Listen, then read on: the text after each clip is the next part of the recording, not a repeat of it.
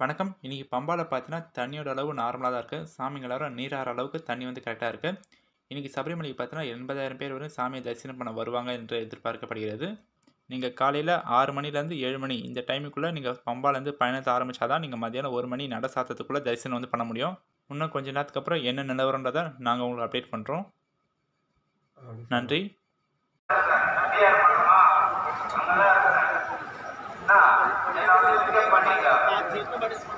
என்ன